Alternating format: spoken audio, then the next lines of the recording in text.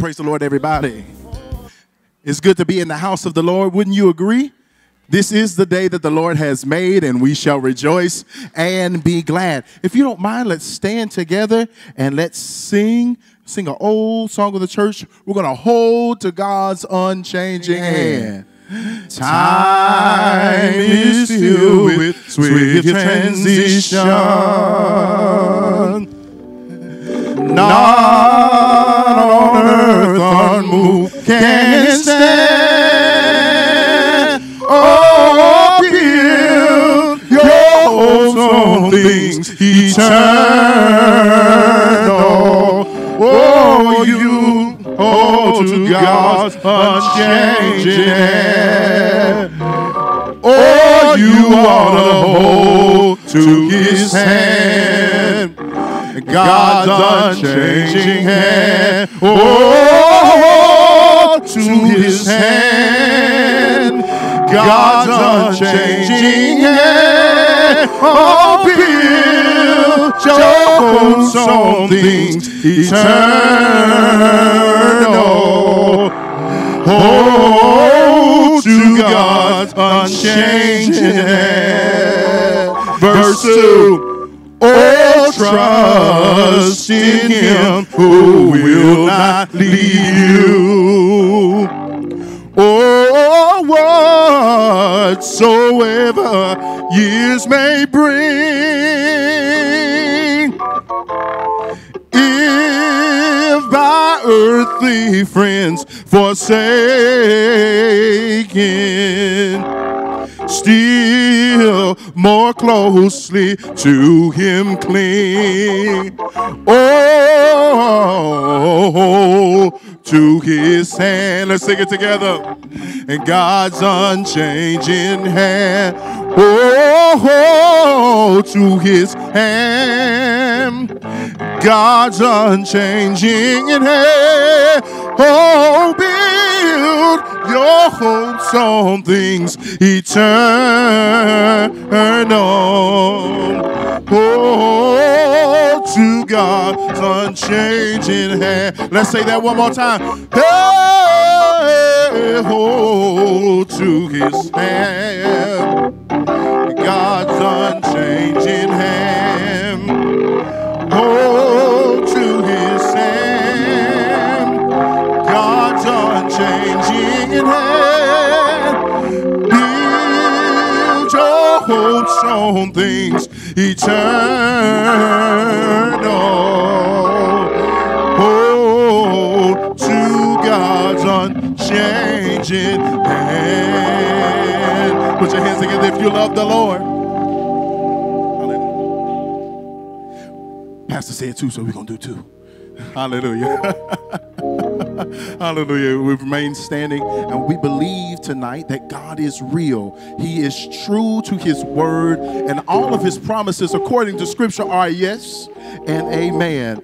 So we're going to sing this song of the church that yes, God is real. Oh, there are some things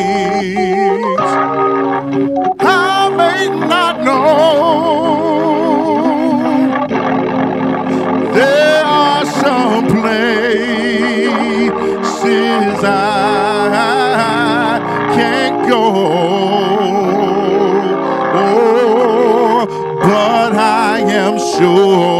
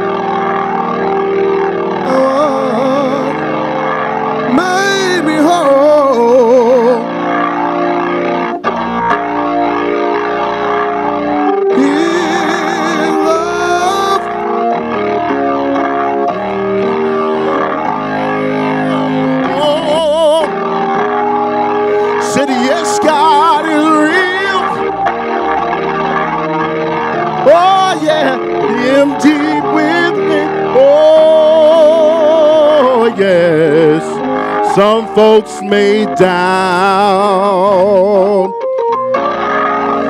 Some folks may scorn.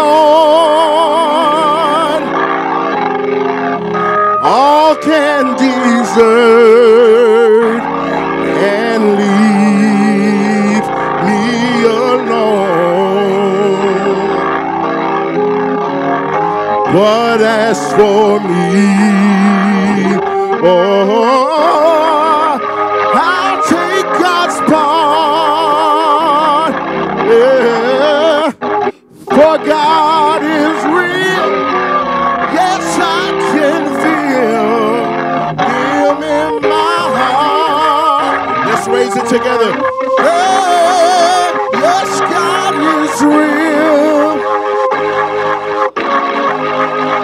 Said He's real in my soul.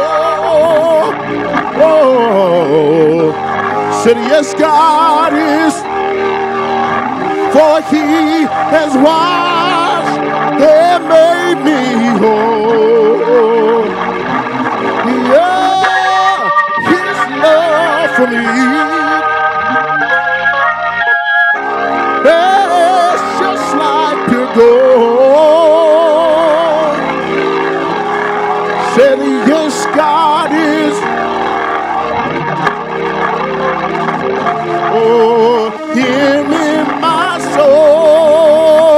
Let's do it one last time. Yeah, yes, God is real. Said he's real in my soul. Yes, God is real. For he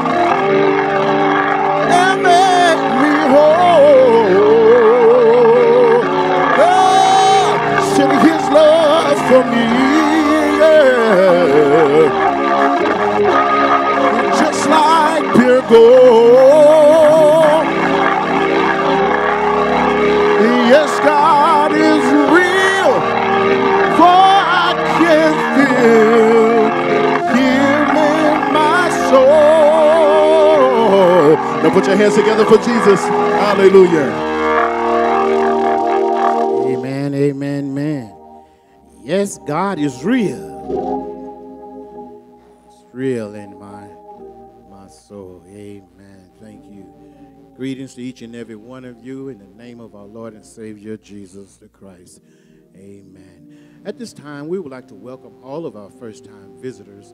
If we have any first time visitors or guests that's here with us, not a member of the second, if you don't mind, standing so we can acknowledge you and love on you. Amen. Amen. Amen. Amen, brother. Amen. Amen. On behalf of our senior pastor, Dr. Maurice Watson, and the entire Second Baptist Family Church, we welcome you. Thank you so much, sir. Knowing you could have went anywhere else, but you chose to be here with the second, and we do thank you. Amen. For those of you on social media, thank you so much for chiming in with us this evening as we get ready to go higher and higher in the Lord's Word. Amen.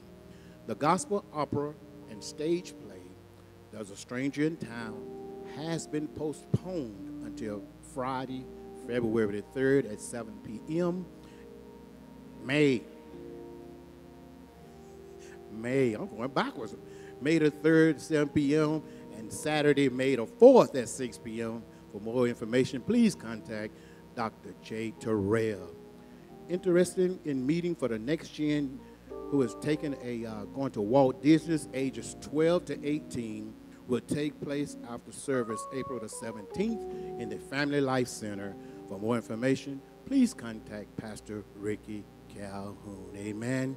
Y'all ready to hear from God and hear God's word? Let's give God a great big hand as we turn it back over to Amen. Our teacher, Dr. Maurice Watson. This is the day the Lord has made. We rejoice and we're glad in it. How many of you are glad to be in the house of the Lord tonight? What a blessing it is to assemble ourselves together, to come together for yet another night of the study of God's Word. And I want to just thank God for each and every one of you coming out tonight uh, for Bible study. This has been an interesting week. We witnessed something we won't see for another 20 years. Uh, the eclipse, it was awe-inspiring. How many of y'all got a chance to go outside and look up at it? The handiwork of God. Amen. It was great. It was great. Uh, somewhat underwhelming in some respects. I could have let could have allowed everybody to come to work that day, and and let school out and all everything else. But look to me, y'all jokers could have come to work, but we erred on the side of caution, and uh, certainly didn't know what the traffic was going to be. And we, our first uh, desire is always to keep everybody safe. Amen. But it really was an awe inspiring event. Amen. One that I will never forget. I'm sure you won't forget it either. Trust that you've had a good week thus far.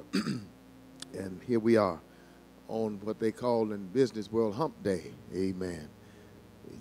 About halfway through the week, amen. Just two more days and then you'll be off. But while you off, then I'm on. Amen weekends is, uh, is a work day. Tonight we want to continue our study of um, the Sermon on the Mount. Sermon on the Mount uh, comprises Matthew chapters 5, 6, and 7, and it is by far the longest discourse of teaching that we have from Jesus as he teaches us uh, how uh, we are to live for his kingdom in this world, that we are to be a counterculture within the larger culture, and that we are not to blend in with the world. We're to be in the world, but not of the world. And Jesus shows us what that kind of life looks like and how he expects us to live, how he expects us to treat each other, amen, and how he expects us to interact with one another. And so we come tonight to yet another one of the teachings of Jesus as we look tonight at Matthew chapter 5. We're going to finally finish the fifth chapter of Matthew. We started back at the beginning of the year. So we finally come to the final uh, lesson in chapter 5. And interestingly, it's about loving our enemies. Love, love your enemies. Verses 43 through 48. Matthew chapter 5, verses 43 through 48. Let me read it into our hearing on tonight. You have heard that it was said, You shall love your neighbor and hate your enemy. But I say to you, love your enemies, bless those who curse you, do good to those who hate you, and pray for those who spitefully use you um, and persecute you that you may be sons of your Father in heaven. For he makes his sun rise on the evil and on the good, and sends rain on the just and on the unjust. For if you love those who love you, what reward have you? Do not even the tax collectors do the same? And if you greet your brethren only, what do you more than others? Do not even the tax collectors do so? Therefore, you shall be perfect, just as your Father in heaven is perfect. So we come yet again to one of these teachings, hard teachings of Jesus. Um, the, the lesson here uh, is a continuation of what Jesus had already started Remember back in our last time we were together, it seemed like it was a lifetime ago when we were together in Bible study in verses 38 to 42. We learned what we are not supposed to do when we are mistreated by others. What is that? We learned from that last lesson that we are not to retaliate. We are not to retaliate in kind for how people treat us. And uh, you remember we talked about that biblical principle in verses 38 to 42 of the eye for an eye and a tooth for a tooth. Remember when we taught on that?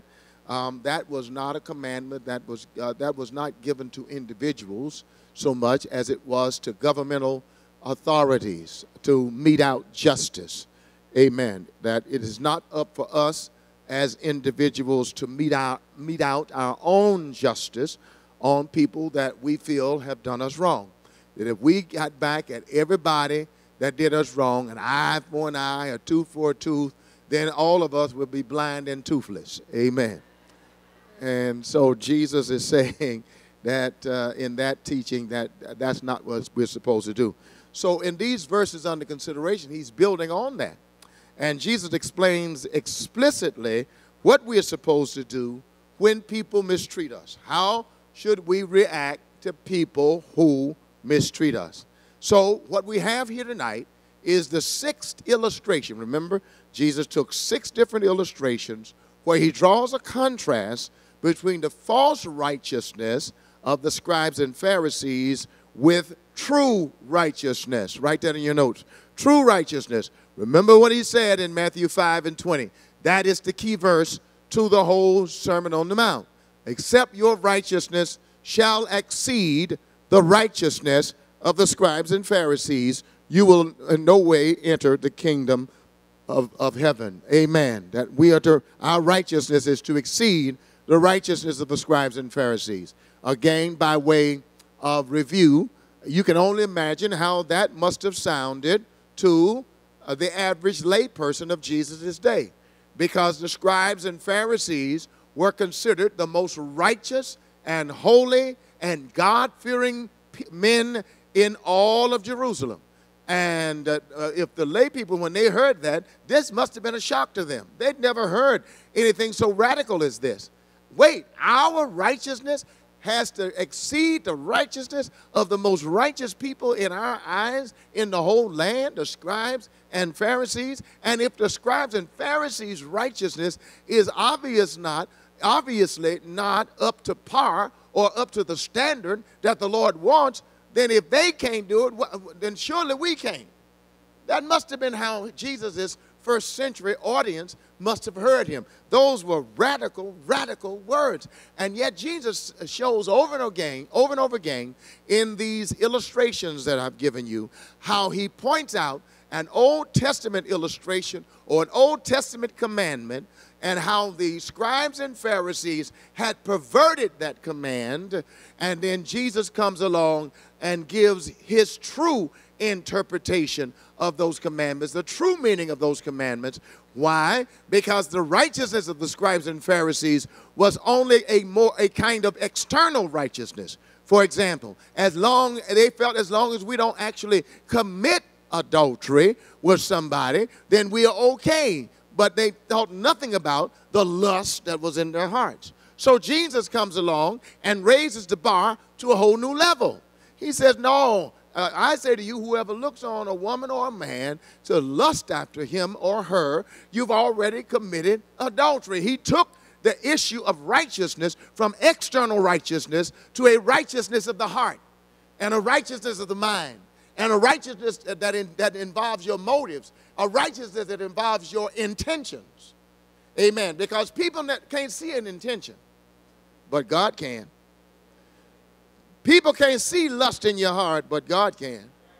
Are you with me? People can't see that you hate them and you want to murder them, but God can. So Jesus raises the standard. He raises the standard. And so what we have here is Jesus is giving yet another example of, of, of the righteousness of the scribes and Pharisees over against the true righteousness that he came to establish. And he proposes something here that's nothing less than radical.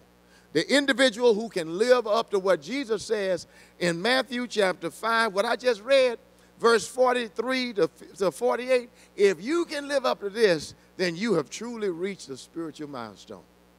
Because Jesus saves the hardest one for last. The hardest one he saves for last. So, first, let's look at the teaching of the Old Testament. Listen to what he says. He quotes from the Old Testament in verse 43. You have heard that it was said, You shall love your neighbor and hate your enemy. Now, now, now, you shall love your neighbor. The statement, you shall love your neighbor as yourself, is a command that is often repeated in both the New Testament and in the Old Testament. In each of these passages, these passages that I've uh, listed on your notes from the New Testament, Matthew 19, uh, verse 19, Matthew 22, verse 39, Mark 12, verse 31, Luke 10, verse 27, Romans 13, verse 9, Galatians 5, verse 14, and James 2, verse 8. Each of these passages, the Lord says, the, the writer says, you shall love your neighbor as yourself. You shall love your neighbor as yourself. I don't even have to read them. Those exact words are in each and every one of those New Testament passages. You shall love your neighbor as yourself. But it wasn't just an Old Testament command, it was also a principle that was taught in the, uh, rather, wasn't just a New Testament command, it was also a principle that was taught in the Old Testament. I just want to look at two of these, if you will. Um, Leviticus chapter 19, verse 18. Let's go over there. Put a marker in Matthew 5 because we're coming back. Let's go left, way left, over into the Old Testament in the book of Leviticus. Genesis, Exodus, Leviticus. Leviticus chapter 19 and verse 18. Leviticus 19, verse 18 says, Are y'all there? All right. Uh, if, if you're there, say amen. If you're not there, say wait up. And I was going to say use the table of content. That's what it's there for. He says, You shall not take revenge, you shall not take vengeance, nor bear any grudge against the children of your people, but you shall what? Love your neighbor as yourself. I am the Lord. This is an Old Testament principle that was not just taught in the New Testament. You shall don't get revenge on people, but love your neighbor as yourself. Now, I'm going to say something about that. No, I guess I'm going to say it now. No, I'm going to wait. I'm going to save that. Love your neighbor as yourself. Now, the passage in Deuteronomy chapter 22, verses 1 through 4, shows us what that can look like. Turn to Deuteronomy chapter 22. Go right. Deuteronomy chapter 22, verses 1 through 4 this shows us, you don't see the exact words there, but it shows us what loving your neighbor as yourself can look like. Are y'all there?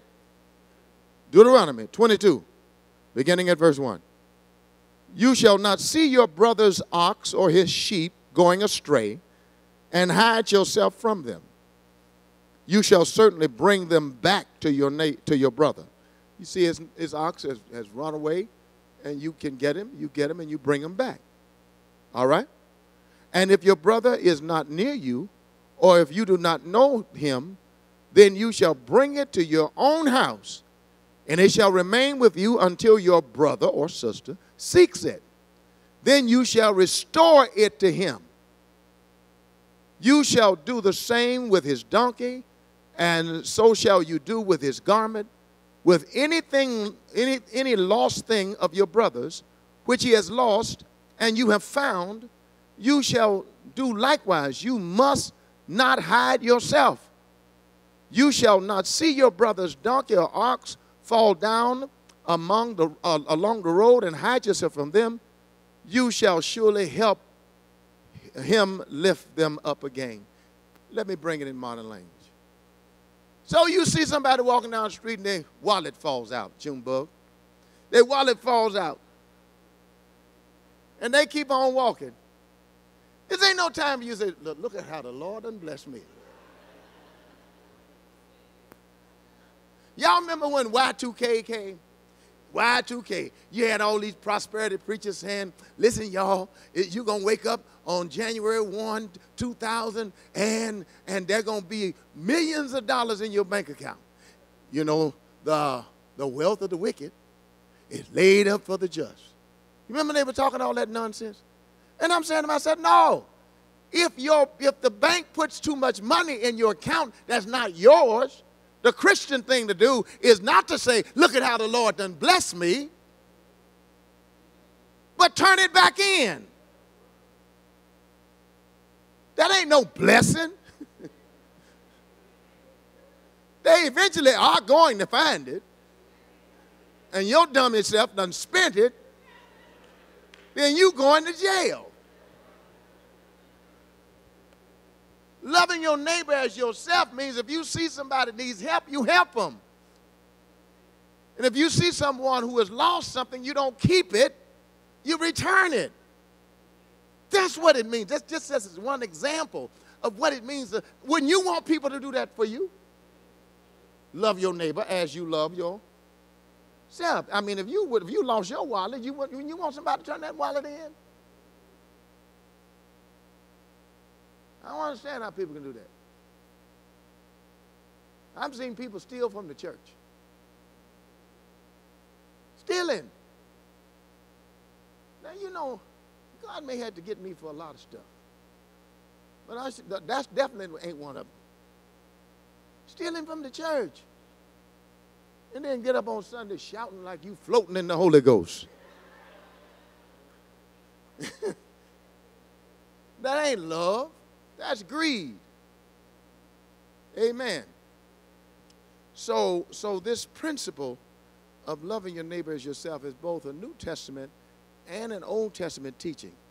In the fullest sense, uh, let me see, where am I? Where am I? Um, an Israelite's neighbor was anyone, or not just an Israelite's neighbor, but our neighbors, or anyone in need whom we might come across in our daily lives. Who's our neighbor? So let's look at Luke chapter 10. Turn to Luke chapter 10. Go to the New Testament. I love to hear those Bibles turning. Luke chapter 10. Let's give our Bibles some exercise. Turn them pages. Some of them are sticky because you ain't been turning them. Luke chapter 10, verse 30 through 37. Okay. Um, somebody has just asked Jesus, you know, um, uh, uh, a question regarding what's the first commandment. Jesus said, man, Jesus love the Lord your God, all your heart, soul, mind, and strength, and your neighbor as yourself. And so one of these smart alecks in the crowd uh, stood up and, and said he wanted to justify himself. And he said to Jesus, Lord, who is my neighbor? Now, this, this, this, this biblical scholar knew who his neighbor was. Um, but he was trying to seek and he trapped Jesus. Um, because he wasn't really asking, who is my neighbor? What he really wanted to know from Jesus is, who do I have the right not to love? Who do I have the right not to love, not to consider? Who is my non neighbor? Because the Jewish people had this nationalism that we only love our own kind. So, who do I have the right not to consider as my neighbor? So, Jesus tells this parable. He says, um, Jesus answered and said, A certain man went down from Jerusalem to Jericho, fell among thieves, was stripped of his clothing, wounded him, and departed, leaving him half dead. Now, by chance, a certain priest came along, came down the road, and when he saw him, he passed by on the other side. Likewise, a Levite, when he arrived at the place, uh, came and looked and passed by on the other side. But a certain Samaritan, as he journeyed, came where he was, and when he saw him, he had compassion. So he went with him and bandaged his wounds, pouring on oil and wine, and he set him on his own animal, brought him uh, to an inn and took care of him. On the next day, when he departed, he took out two denarii. That was a whole lot of money, and gave uh, to them, gave them to the innkeeper, and said to him, "Take care of him, and whatever more you spend, when I come again, I will repay you." So Jesus said, "So which one of these, which of these three, do you think was neighbor to him who fell among thieves?" And he said, "He who showed mercy on him." Jesus said to him, go and do likewise. So this smart aleck wanted to ask Jesus, Lord, who is, who is my neighbor? Now, he knew theologically who his neighbor was, but what he was really asking is, who do I have the right not to consider as my neighbor? Who do I have the right, who do I have the right not to love? And Jesus is saying to him, You don't have the right not to love anybody. You're supposed to love everybody. So he said, Let me tell you. Man went down from Jerusalem to Jericho. It was all, it was that, that winding road down from Jerusalem, Jerusalem to Jericho was full of thieves and bandits. People got robbed there all the time. And he fell among thieves. They robbed him and beat him up, left him half dead, bleeding on the side of the road. Here comes the priest. I'll call the priest the preacher. The preacher came along, saw the man laying down, bleeding out. He said, Brother, I would help you, man, but you know, I got to get to the church because I got to preach my sermon tonight. I got to teach Bible study tonight. Sorry, maybe next time. Then the Levite came. They were temple workers. I'll call them the deacons. So the deacon came. Deacon showed up. Deacon Sane showed up and said, Man, look at you. I sure would help you, but I'm on to do the devotion tonight, so I don't want to be late. And then Jesus throws a character in the parable who would be, if you were a first century Jewish person, you would be shocked because it is the most unlikely person that would stop, that, that a Jewish person would expect to stop and help a Samaritan. The Samaritan were mixed race, a mixed race of people. They were half Jewish, half Gentile.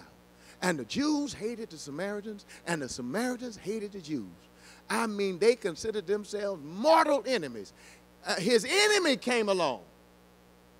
The priest done left him because he got to get to church to preach his sermon. The deacon left him bleeding out because he got to do devo devotion. But his enemy shows up.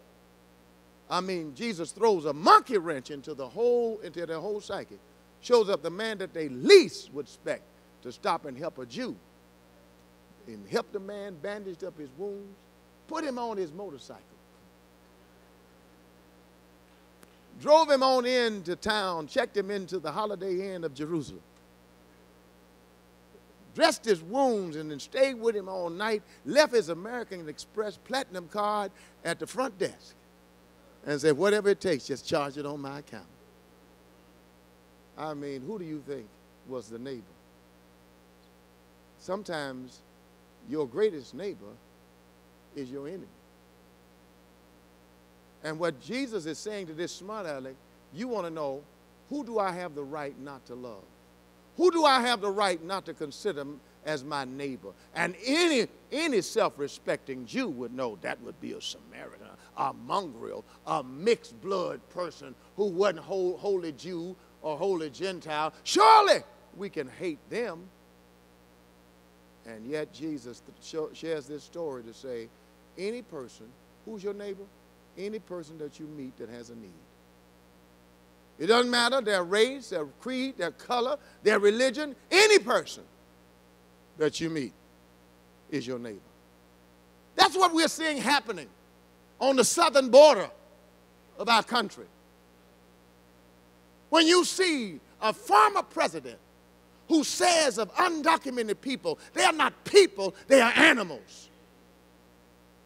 That makes me mad to hear this man call people who are made in the imago Dei, in the image and likeness of God, who says to them, of them, they are not people, they are animals.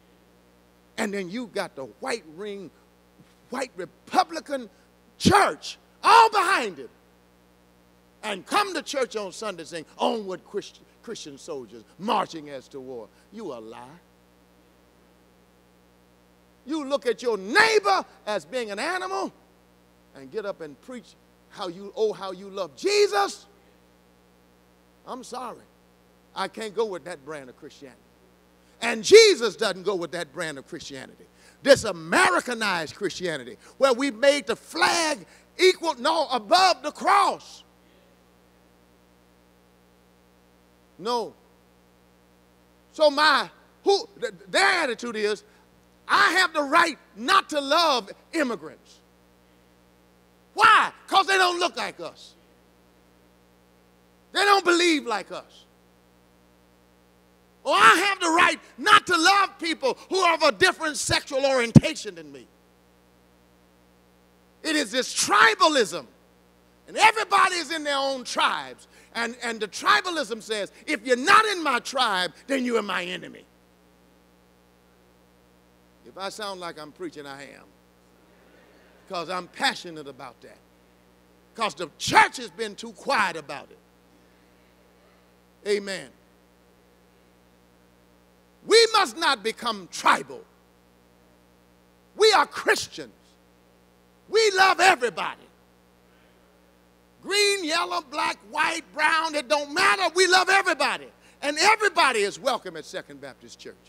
And the day everybody is not welcome at Second Baptist Church is the day I won't be your pastor.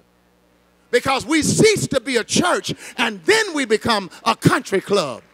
And country clubs say you can only be a member if you meet our criteria. We are not a country club, we are a church.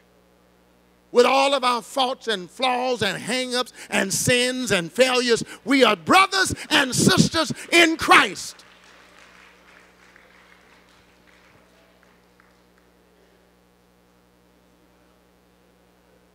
Let me get off my.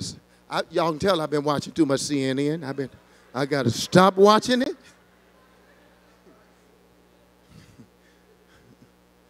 I done. I got to stop watching CNN. Because all I do is get mad. All right, let's look at how the perversion of the teaching. All right, so let's go back to Matthew 5. Boy, I done got, on, I done got worked up. Calm down, Watson. Calm down. you got to learn how to laugh at yourself. But I sure was passionate. I mean it.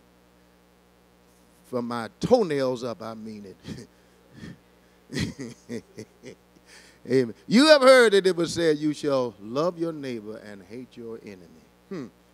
As in each of these five previous illustrations, you know what the Pharisees did? Jesus shows how the scribes and Pharisees perverted the meaning of the Old Testament teaching. They perverted it. Satan is always perverting the revelation of God. He, you know, he'll, he, he does so by giving you so much truth in order to make his deception believable. He twists the word of God. And the scribes and Pharisees kept part of the truth about uh, love, you shall love your neighbor, but they perverted the Old Testament teaching in two ways. Here is how they perverted the teaching. First, by omission. Omission. They omitted the phrase as yourself. Write that in your notes. Deuteronomy 19, remember 18 says, You shall love your neighbor how? As yourself. Let, let, me, let me say, what does that mean, love your neighbor? As you love yourself, which means you cannot love your neighbor until you first love yourself. Teach, Pastor Watson. You can't hate yourself and love people. You got to love you first. Love your neighbor as you love yourself. You see, these words were fully known by the scribes and Pharisees, but they were only partially taught. As with other scriptures, uh, they seem to be uh, that's, that seemed to be too demanding for them. They, you, they, would, they would twist and omit certain aspects of the scripture so it can make it easier for them to obey them. Why? Because the scribes and Pharisees had that Jewish nationalism. That Jewish nationalism says we only love Jews. We only love our tribe. We only love people who look like us. We only love people who believe like us. We only love people who agree with us. It was this nationalism. So they took that out as you as you love yourself. They they omitted that. You see, they narrowed the meaning of neighbor to include only those people they they preferred preferred or approved of, which amounted to basically to their own kind. Write that in your notes those that they preferred, basically their own kind. Nothing is new under the sun. That's what we're seeing happening in America today. Jews shall not replace us walking with tiki lanterns, torches. Jews shall not replace us. There were very fine people on both sides. There were very fine people on both sides. Jews shall not replace us. And we are seeing an uptick in violence, anti Semitism. And a lot of it goes back to the leader of the Republican Party. Y'all know who that is. Love only those who look like you, who believe like you, whose politics are same as yours.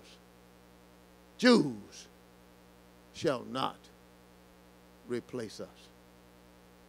And when this guy, this this this this white supremacist, mows down this woman and takes her life, there were very fine people on both sides. The devil is a liar. This is, there's nothing new. The, Jew, the Jewish people of Jesus, they had that same nationalism. We only love our own. We only love our own. Um, this is why they felt so justified in despising sinners and tax collectors. Remember in that parable? I won't read it, but Luke 18, 11, what you have, where there was a, a sinner, uh, a tax collector, and a Pharisee that went to temple, and they both prayed. And the Pharisee, in his Pharisaic, self-righteous prayer, says, God, I thank you that I'm not like other people. I'm a tither. I go to church. I'm not like that fellow over there, that tax collector. They were hated because a lot of tax collectors was dishonest. They were working for Rome and they were skimming off the top. So I'm, I'm glad I'm not dishonest like that joker over there. And that tax collector wouldn't even lift his head, but just said, Lord, be merciful to me because I'm a sinner. And Jesus said he went down justified more than that self righteous church member who felt it's okay for him to look down at his brother. Can I tell you something tonight? You can always find somebody who are less than holy, less holier than you. You can always find somebody that cusses more than you, that drinks more than you. You know, you know how we how we determine our spiritual maturity? We back ourselves up. Come here. Turn around. Just turn around. We back ourselves up to our brother and sister and say, look at how tall I am. And look at how short. look at how short. look at how short old Wilkins is. But if you really want to know how tall you are, don't back up yourself up to your brother, your sister. Back yourself up against Jesus. You'll see how morally taller he is than all of us. Are y'all with me here tonight? All right. All right, let me let me get in here. They they they they narrated by omission, but they also narrated by addition. You see, the scribes and Pharisees perverted the Old Testament teaching. Jesus said, watch this, verse 43, you have heard that it was said, you shall love your neighbor and hate your enemy. They added this little phrase, and hate your enemy. Nowhere in the Bible do you find the command to love your neighbor and hate your enemy. But see, they added that. Why they added? Because they want to justify themselves in loving only the people that's like us. So that gives us the right then to call those uh, non-documented persons animals. I'm trying to make it live today. That gives us the right because they take the Bible. And he's selling Bibles. Lord have mercy. A man that don't read 2 Corinthians.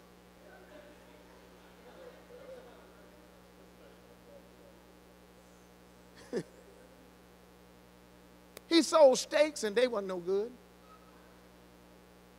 He sold a, a, a college education that never was there, a university He done sold everything, and all of it was a hoax.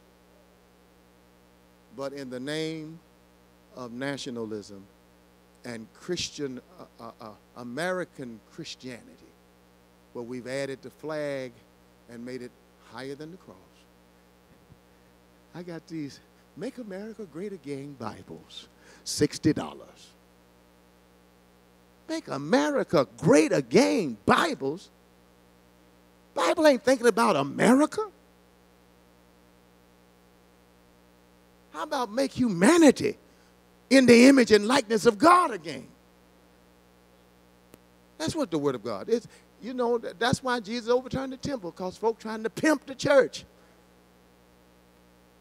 Ain't nothing but a pimp. Pimping the church. Selling Bibles to pay his legal bills. And we just, and people just that dumb. Yes, dumb. Because it sure ain't smart. Anyway, I told you I've been watching too much CNN. I gotta, I gotta stop watching. Pastor, you gotta stop watching the news. You gotta turn the news off because it's getting under your skin. Yes, it is. I'm just trying to make it live. All right, let me go to the last part so I can get off this soapbox. Let's look at the perspective of Jesus. Write down your notes. Jesus goes on to state the kind of love which ought to characterize his people, and it's a sevenfold characteristic. So he says, verse 44 But I say to you, love your enemies. Love your enemies. Here is one of the most powerful teachings in the scripture. Here's one of the most powerful teachings when you talk about what does love mean. Real love is when you can love your enemy. When you can love somebody that you know don't like you and that you don't particularly care for either from sometimes. But you still got to love them. This must have been radical for the disciples. It went against everything the scribes and Pharisees had taught. Because the scribes and Pharisees, they had perverted and twisted the law to mean you can love your fellow Jewish believers, but you can hate everybody else. Jews shall not replace us. It's okay to call people at the border animals, long as you love folk who believe like you and who look like you. Are y'all with me? But Jesus said, Love your enemies. That word love in verse 44 is the Greek word agape, agape, A G A P E, agape. It is the highest form of love. It is unconditional love. Unconditional love. It's love that seeks the well being of others over and above your own well being. Amen. Romans chapter 12, verse 20. Romans chapter 12, verse 20. Let's look at real quick. Hold your finger. Hold your finger there in Matthew 5 because we're coming right back to it. Romans 12, 20. Somebody read that so I don't have to fumble around trying to find it. What does it say? Hold on, hold on, Miss Watson. It says, Therefore, if your enemy is hungry, feed him. If he is thirsty, give him a drink for in so doing you will heap coals of fire on his head. If your enemy is hungry, don't pass by on the other side and say, Well, man, I, am going to pray for you. no. You give him something to eat. If he's thirsty, you give him something to drink. In doing so, it's like you're putting hot coals of fire of conviction on that person's head. All right. Second thing Jesus said about loving your enemies, uh, love, love, the love he came for us to have is, he says, bless your cursers. Verse 44, Matthew 5 44.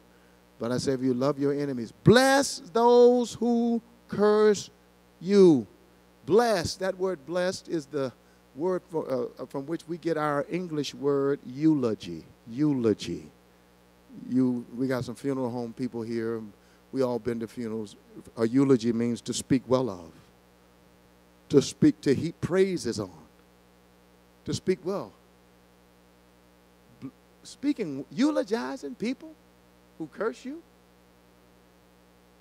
Our natural selves want to put our hand on our hips and let that neck go and say, You curse me, I got to cuss you back.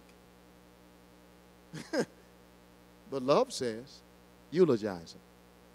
Wow. That's radical, it? Speaking well of people who are cursing you, who are wishing ill for you. But he says, don't be overcome with evil. That's the next verse in Romans. But overcome evil with good. All right? Eulogize them. So next time, just, just find something nice to say about them, no matter what they say about you. You find something nice to say about them. And, and let them look foolish. Here they are trying to put you down, and yet you are keeping your cool and you're speaking words of commendation as opposed to getting on their level. What did uh, Michelle say? When they go low, you go high. But some of us, we want to fall down on the floor and get as low as we can with them. then he says, love I'm talking about means you got to help your haters. Do good to those who do evil to you. Do good to people who are doing evil to you. I mean, again, that's radical. That's radical. But Jesus said, in so doing, Paul said, you heap coals of fire of conviction when you know they have been trying to undercut, undercut you in every way, and yet instead of you getting on their level, when you find opportunities to help them, you help them. And man, they'll look like they are that small. They'll be so small that they can sit on a dime and their feet won't even touch the floor. Teach Pastor what? then he says, pray for your persecutors. Pray for those, he says, um, who uh, persecute you and say and, and those who spitefully use you and persecute you. Pray for them. The best way to have the right attitude toward those who persecute you is to bring them before the Lord in prayer. Ask God, pray for them. Pray for them. Ask God to forgive your persecutors. Pray for their peace. Pray um, that, that you'll have peace, that there'll be peace between you and that person.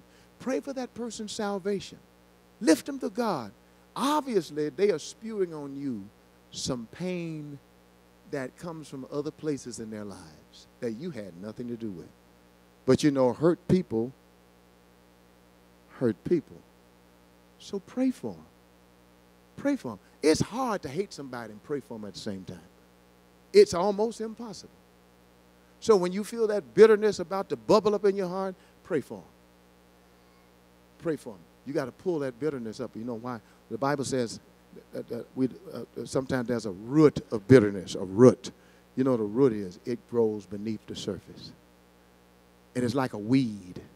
You can get your weed eater out and you can cut it down to the to its level to the dirt.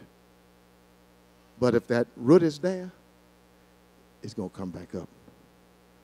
So you got to ask God, Lord, pull this weed out of my heart. Pull this weed of the whole root system out of my heart. The whole root system so it can't come back up. So that when they do me wrong, I'm going to pray for them. Jesus set an example of that on the cross. Luke chapter um, 23, verse 34. On the cross, they are publicly executing Jesus. I don't think you can do more, anything more harmful to a person than to execute him. I mean, you say, but they lied on me. They, well, lying on you is one thing, but hanging you, nailing you to a cross goes way beyond somebody telling a lie on you, right? And what did Jesus do? He prayed for them and says, Father, forgive them because they don't know what they're doing. Stephen in Acts 7, that's the next scripture, was another example. As they were stoning him to death, he looks up and says, Lord, don't hold this against them. When you pray for your persecutors, it's hard for you to pray for somebody and hate them at the same time. It helps you, it frees you. It, you don't just do it for them, do it for yourself. Are you with me today? And then, next of all, uh, manifest your sonship. Look at verse 45. That you may do all of this, he says, that you may be sons of your Father in heaven. Because he makes his sun to rise on the evil and on the good. He sends rain on the just and the unjust. Now, don't construe the meaning of Jesus' words here to mean that you can do good things in order to save yourself. When he says that you may be sons of God, it doesn't suggest that you may become a son of God because you love your neighbor or because you prayed for them. No, no. When you do so, you are manifesting that you are a son, that you are a daughter of God, because you are able to pray for people who persecute you. You are able to love your enemies. You are able to do good. It's a sign that you are saved. Are y'all with me? I'm almost done. Next of all, you got to exceed the righteousness of the scribes and Pharisees. So he says, verse 46, if you love those who love you, he says, that's pretty easy. What reward do you have? Do not even the tax collectors do the same? Now, the tax collectors were considered the most sinful, dishonest people in the world. He said, even the, even the most sinful, dishonest people in the community love those who love them. And if you greet your brother only, what do you do more than others? Not, they're not even the tax collectors, the most sinful people you consider in the community. They even speak to those who they consider are their brothers or their sisters. So he said, listen, if you only love those who love you, you're no better than the scribes and Pharisees. You're no better than the tax collectors. Anybody can do that. But Jesus says, I'm raising the bar. And when you learn through my strength to love your, your enemies, you are then exemplifying a righteousness that exceeds the righteousness of the scribes and Pharisees. Lastly, Jesus said, here's what love looks like that you got to be like your heavenly Father. Verse 48 Therefore, you shall be perfect, just as your Father in heaven is perfect. Now, that word perfect there means complete or mature. Write down your notes. It's not talking about sinless perfection because none of us are going to achieve in this world sinless perfection. But Jesus is saying that we, that, to, that we are to be perfect in the way we treat each other as God would have us to treat each other by loving those who are the most difficult people in the world to love, loving your enemies. The Lord will never lower his standard to accommodate our sinfulness. He doesn't say, okay, I'll give you a break this time. You can hate that joker who lied on you the other day for 15 minutes. No, you don't even have the right to hate them for 15 minutes. The Lord says, I want you to love your enemies. If you receive this word tonight, give the Lord praise. All right. That's a hard teaching. But boy, it sure is one we need. It's one that America needs. Now, tonight, if you are here tonight and you have sat through this kind of teaching, and you say, Pastor, man, I appreciate that teaching that tonight. And I've been looking for a church and looking for a pastor that would teach me the Word of God so I can grow in my walk with God. And even tonight, on this Wednesday night, if you want to join this church, you come give me your hand, uh, but give God your heart, and we'll be happy to take you in. You can see me after service tonight. I say, Pastor, man, I, I believe God wants me to be a part of Second Baptist Church and you to be my spiritual leader. I'd be happy to do so. We'd be happy to have you. Now, come on, deacons, let's give the Lord our tithe and offerings tonight. Amen. Let's give tonight real quickly. Get it out your pocket. Get it out. Get it out before you spend it on something. Spend God's money on something else. De- dealers going to have a sale. They're going to have an eclipse sale. yeah all that stuff they bought. Then nobody goes to the store. So you're going to be able to get it on sale. You're going to be saying, look how the Lord done blessed me. Amen. The deacons are coming. What we got? Come on, come on, Shorty. Amen. uh, if you don't mind, can I have your attention, please? Uh, it is my sad duty to uh, say to some of you all who are not aware, some of you may already know about the transitioning of our beloved Deacon Calvin Richardson. Yes, and uh, so uh, you'll hear more information coming from me later on.